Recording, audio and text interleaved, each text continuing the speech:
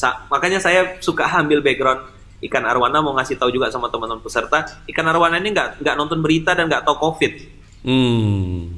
tapi dia tetap tahu tuh rezekinya ada jangkrik ada ikan ada udang. Dia nggak punya aplikasi ojek online tapi makanannya dianterin terus Ustaz. Iya, iya, iya, iya.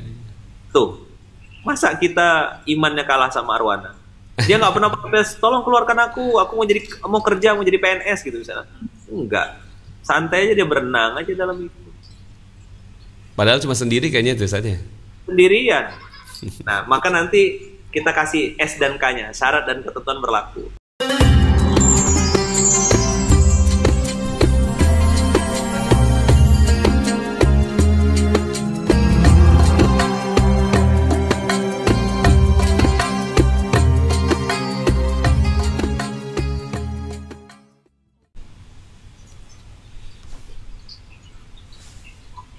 Dan sungguh wala nabluwannakum.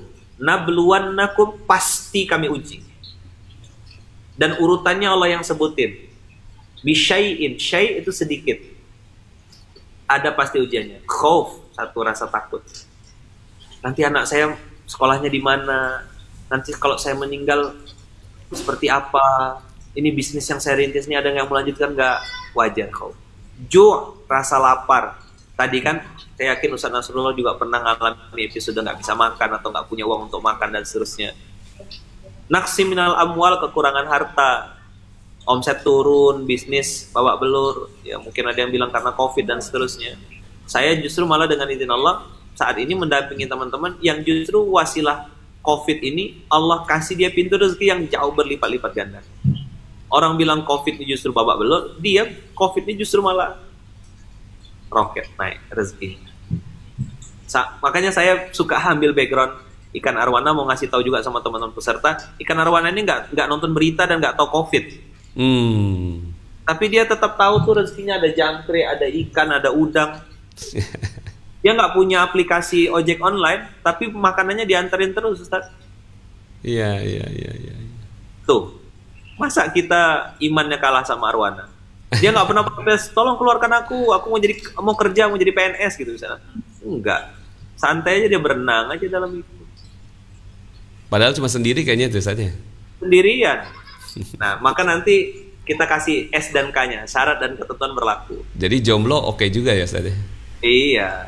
Maka jomblo itu nasib Ustadz, single itu pilihan. Iya, iya. iya. Daripada meratapi jomblo, mendingan mensyukuri Allah jaga kita dari zina kan gitu. Yes. Beda respon aja. Iya. The way to respond. Mm-mm. Yang punya hutang miliaran bunuh diri banyak nggak? Banyak. Banyak. Yang punya hutang miliaran justru menjadi sumber inspirasi, justru banyak. Ini Ustadz Nasrullah salah satunya. Kalau Ustadz Nasrullah saat itu meresponnya nggak pakai iman, nggak pakai tauhid, nggak pakai keyakinan kepada Allah, saya yakin nggak ada magnet rezeki ini. Mm-mm. Sama juga ketika orang tanya, Ustadz gimana cerita mustahil miskin? Sama mustahil miskin juga wujud karena sedang susah. Wasilah kesusahan, wasilah babak belur.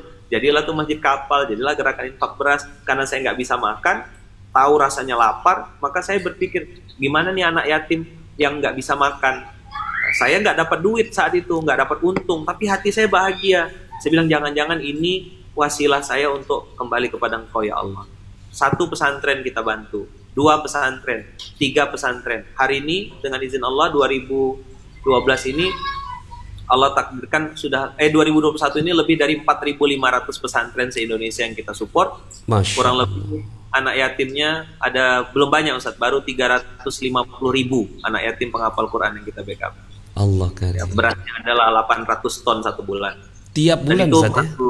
tiap bulan Ustaz. Baru baru 800 ton. Masih sedikit Ustaz. Ya belum ada apa-apanya. Masya Allah. 800 ton itu berarti berapa rupiahnya Ustaz ya? Kalau satu satu satu kilonya 10 kita pakai beras yang mahal Ustaz, beras yang bagus yang 15.000 ribu Ustaz. Hmm. Ya tinggal dihitung aja. 15.000 ribu 800. dikali 800 ribu kilo. Hmm. 12 miliar sebulan. Ya kira-kira segitulah Ustaz. Allah karim. Ini tadi ada yang nanya ini orang Malaysia nih, sahabat kita daripada Malaysia. 12 miliar itu berapa ringgit ya? Berarti Dibagi tiga. Lebih kurang ti- 4 juta ringgit. Ya, 4 juta ringgit. Itu masya Allah ya banyak sekali Ustaz. Tiap bulan ya, saya juga dengar antum operasionalnya sampai ada tiga Alphard ya Ustaz ya. Ya, itu hadiah Ustaz. Casio, dikasih orang. Hmm.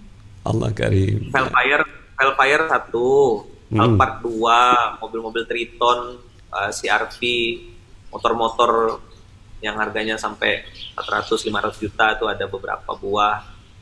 Masya Ya, Allah. semua terjadi atas izin Allah. Saya nggak beli Ustadz, namanya Casio. Termasuk ikan arwana ini Casio, dikasih orang. Masya Allah dari yang apa namanya from zero ya. Minus Ustadz, bukan zero. Kalau zero tuh masih bagus. Oh masih bagus. from minus. Ya, from minus.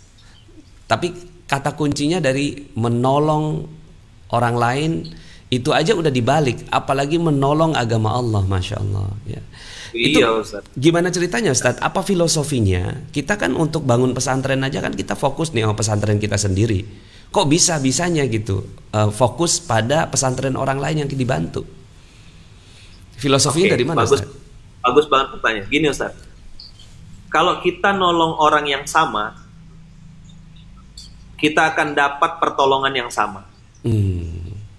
Kalau kita meminta hal yang sama, maka kita akan dapat hal yang sama juga. Mm-mm.